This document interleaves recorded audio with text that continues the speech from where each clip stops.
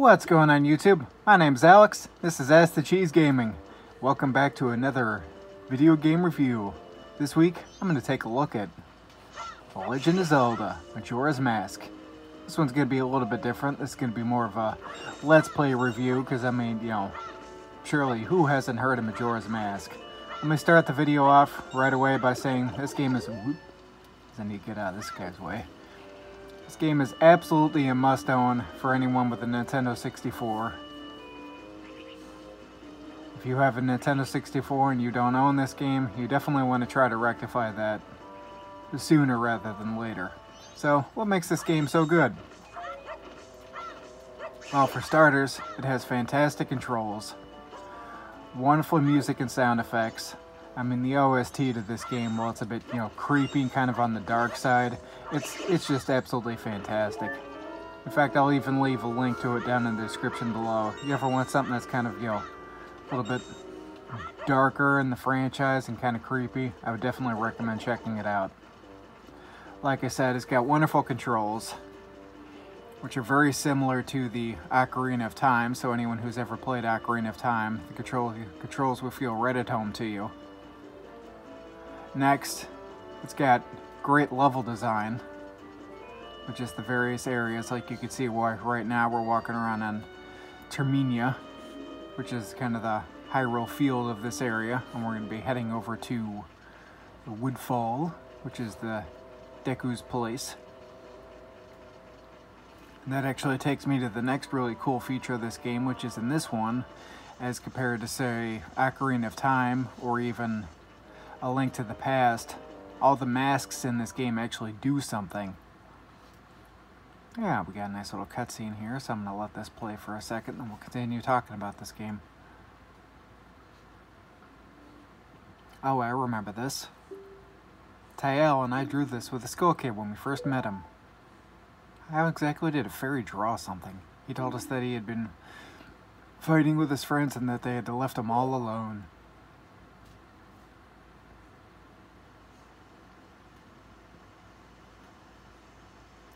Poor Skull Kid. He just wants some friends.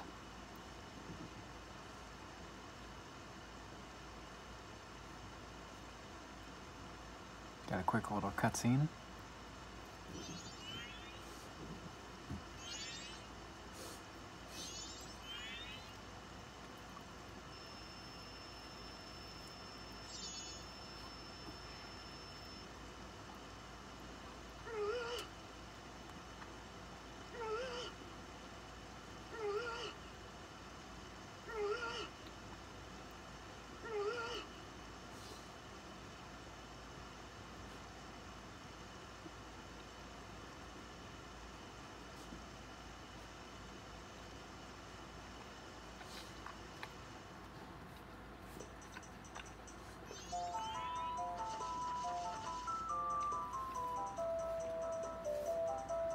Look at how happy he looks.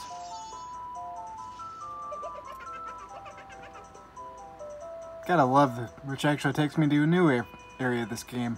Fantastic character design. I mean, the Dark Fairy, the Light Fairy, and the Skull Kid, and all the other, the first cast of characters in this game.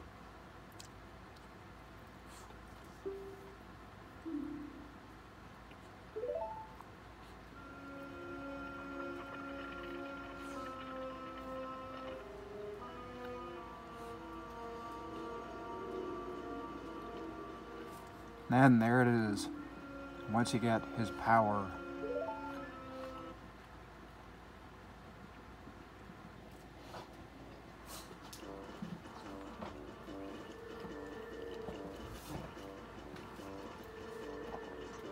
So like I said, we get great controls,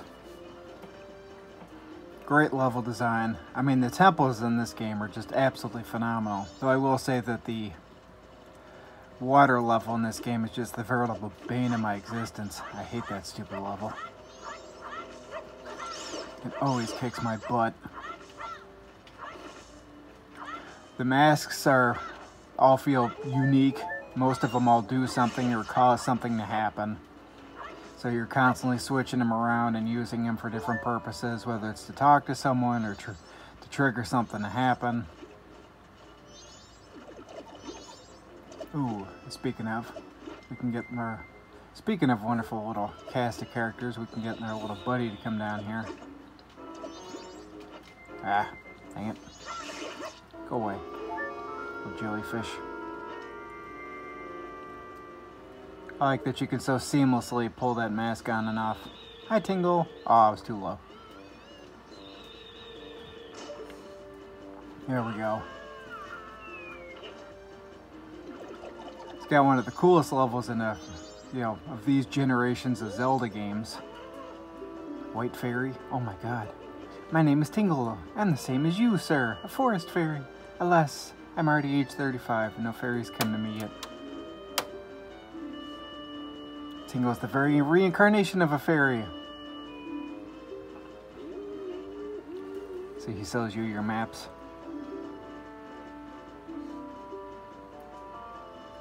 Guess we will buy a Woodfall map. Now we get one of Clock Tower and one of Woodfall. Next area we're in. Call again. Tingle Tingle Kalul Pa. I love that. It's a wonderful cast of characters. They all feel unique really, I mean, there's so many parts in this game that just make me laugh out loud or chuckle. It's just the randomness of everything that happens. Southern Swamp. Dum dum dum. Uh-oh.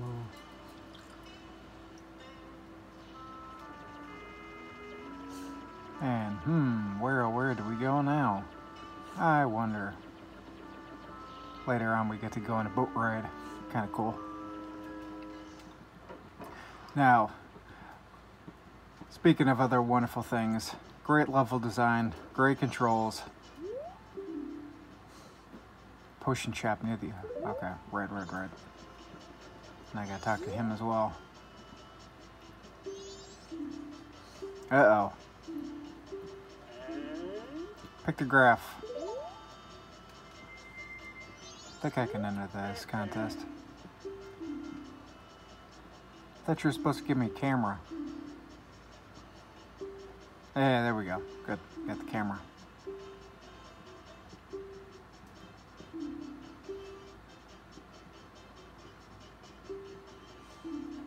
For a boat ride. And she's not here.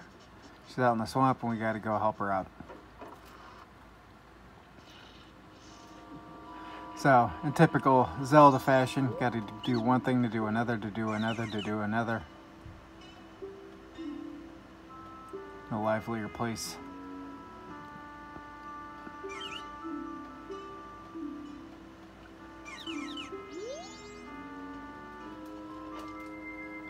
And time to hop down. So, wonderful area. I mean, you know, Woodfall or the Snow Mountain or the water level. I mean, the Stone Temple is just, that level is just cool. Very unique. Great use of the masks, which really takes me one of the one of the first negatives. And mind you, I'm really trying to reach here. Which is, you know, there's a couple masks that you get later on in this game, and I won't really spoil it for anyone who hasn't played it. There's two of them. And you only get to use them once in the game, which is kind of a bummer. And these are going to be all the negatives that I have for the game. And mind you, I'm really, really reaching here. Next part is, whenever you beat a boss in any of the major areas in the game, it changes the area around it. Well, oftentimes when you're doing side quests and other missions, which there's a whole abundance of, which is absolutely awesome. There's always lots to do whenever you play the game. You know, sometimes you need the area to be one way or the other. So oftentimes you're rebeating those bosses in specific areas over and over and over. That can get kind of tedious. Next neg negative that I really have is the stupid little bank teller. Whenever you want to deposit rupees or get rupees, she always is like, oh, I don't know who you are. Who are you again? And she has to stop and look at you. It's like, why can't you just take your stupid rupees out and just be done with it? But mind you, I'm really trying to reach on the, on, you know, every single one of these. Now, a little fun fact about this game, this is actually one of only two gold carts on the Nintendo 64. However, there did exist a gray version of Majora's Mask, which you might still be able to find, but if you ever see it, be very, very careful with it because the gray version was not for resale and was for display purposes only and had a giant not for resale marking on the cartridge. I think places like EB Games and GameStop and some of those other stores back in the day had them and used it as a display. So if you ever see a gray cartridge that's just out in the wild that doesn't have that on the label, well, you know it's fake. So be careful if you ever decide you want to get this game. The other gold cartridges, of course, being Ocarina of Time, which that one is not solely gold. That one has a couple different versions. I forget where we have to go off the top of my head. It's been a while. Last time I played this was the 3DS version, and some of these areas get, get changed around. The order in which you have to do things. Okay, here we go. Gotta hop on the lily pads. At least I believe we do. A little frog quest. That's a fun little quest. Feels so successful when you eventually get all the frogs together. Can I talk to him? Oh no, that's right, I need the frog. I need the frog mask. And I went right in the water. Didn't quite make the jump. There we go. Now we got there.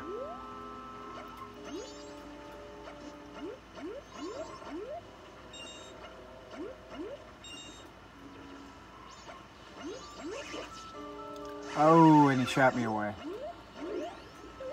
Whoopsies. Oh, I think I'm supposed to stand on that yeah, I think I'm supposed to stand here. And then I gotta reflect this back over to him. Where's he at? Whoop. Ah, come on, there we go.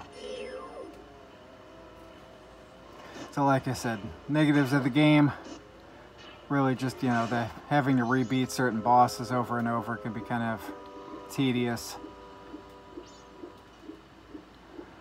The little bank teller, the fact that in certain parts of the game you only get to use a mask once or twice. And beyond just the usage of the mask, there's nothing really, you know, totally brand new to this game in uh, regards of, you know, weapons in comparison to Ocarina of Time. So this game definitely kind of almost feels like the, you know, uh, black sheep of the Zelda franchise in a way, if that makes any sense. I forget what I'm supposed to do here. I don't remember. Oh, that's right. I need the little boat. Okay. So I gotta go elsewhere. I gotta go... Oh, that's right. Okay. Now I remember all what I'm supposed to do. I gotta go into the woods and I gotta go find the witch and then I gotta go get the have one witch give the other one the potion. Then I could take the boat ride and that knocks that guy out. Okay. Oh, the little fun things you get to play in a Zelda. And speaking of, while I'm talking about Zelda and everything else, I recently did a similar playstyle of review. Just kind of ad lib off the cup, no real script to it or anything else. So if you guys enjoy these more, just kind of watching me play the game while I discuss the game, Feel free to leave me a comment down below and let me know. That's your Hags Potion Shop. Alright, ah, we gotta go into the forest. Oh, go away. I'm not interested in you. Okay, so let's go into the forest. And I think... Hey, we get to meet our favorite little buddy. We get to go and meet the monkey. So if you prefer these kind of style of reviews over my, say, more structured ones where I just kind of go real quickly, briefly about the game, let me know. I try to do my reviews a little bit more structured. Oh, you little faker.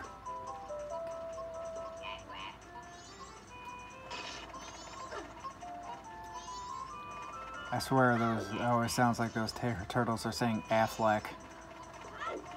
This video is of course in no way, shape, or form sponsored by Aflac and the Aflac duck Just saying, I swear it always uh, sounds like they're saying Aflac. Uh, crap. I don't know which way they're going. No, I don't think it's that one. Oh, I guessed wrong. Dang it.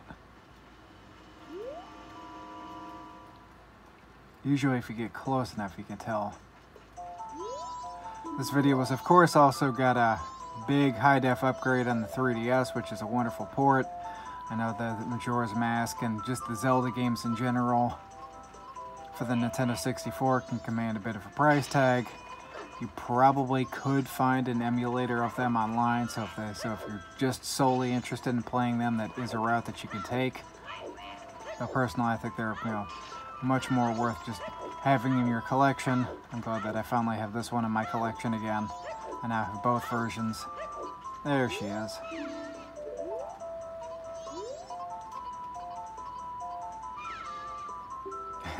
Pesky Skull Kid.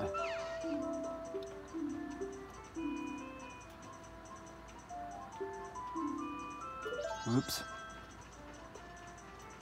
And now we gotta go talk to the witch's sister in the potion shop. And then to do that, then that lets us go on the boat ride and that knocks out the octopus for us. And then we get to the actual area where the water's poisoned. Spoilers. And speaking of, as I'm sitting here playing this game, if this is something you'd like to see me do more of a just regular Let's Play and just watch me actually play it, leave me a comment down below and let me know. Recently did a no commentary opening. I love that reaction. That's just fantastic. I wouldn't say that this game's my favorite in the Zelda franchise, but it's I definitely do enjoy it, and it's one I come back randomly to play every now and again. a no good sister of mine. Take this potion to her. Hey, we got a first bottle. Cool. And then later on, when we get the spoiler mask, then we get to give her the blue mushrooms, which we can find. We put them in the bottle, and then she gives us a blue potion, which is kind of cool. Lots and lots of backtracking. Follow me. And hey, what song do we have? The Lost Woods. Saria's song! What a fantastic song. I just listened to this on repeat for so long. Ah, no. Don't run away from me, little monkey. Ah! I did not mean to pick that up. Oh boy, I might die. Uh, uh oh Taking too much damage from the stupid little... See if we can find a heart in some of these shrubs here real quick. A rupee. Well, I guess that, I guess that helps, and maybe we can buy one. Yay, there she is. Okay, and we gotta equip the potion. Use that which brings life.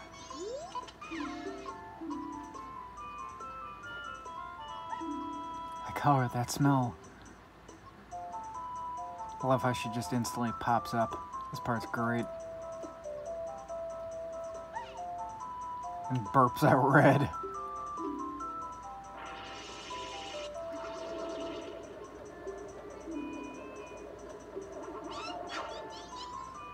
And off she goes after a cackle. And now we're out of here and we get to go talk to the monkeys. And speaking of, if you ever do play this game, make sure, huge, huge thing you definitely want to do, play the Song of Inverted Time, which is pretty much the Song of Time backwards, and it slows down the flow of time to half speed. It makes this game so much easier. Temple above waterfall, strange, brother go to temple. But brother no able to find temple entrance. Temple for Deku only. Brother captured by Deku. Now in palace. Help! Hmm, gee, I wonder what I was supposed to do there. Alright, let's go buy a potion. I think each potion we get two little whatever from. So we'll go get ourselves a quick potion here. And like I said previously, if you guys are interested in hearing a uh, more of my structured reviews, or if this one's kind of more in your alley and you're still here this far into the review, thank you so much. I greatly appreciate watching it all the way through. My potions work very well, they do. Uh, let's go buy one. Hey, perfect, we got just enough. Good. Oh, and we can drink it. Chug, chug, chug. We are revived. Whopping little three hearts that we have. I think this game is supposed to take place during the uh, seven years that Link was sleeping. I don't know. The can canon and timeline gets very convoluted and confusing. I feel like you need a, you know, 60 page manual and master, you know, translator guide and manual and, oh my god, just to figure it all out. Oops. Okay, good, that didn't use any magic.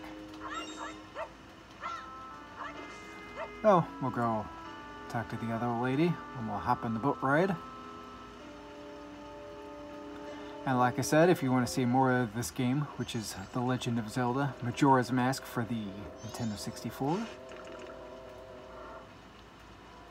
made and developed by Nintendo, the North American release date of October 26, 2000. Leave me a comment down below. Thanks for so much for watching my Let's Play and review. Until next time, everybody.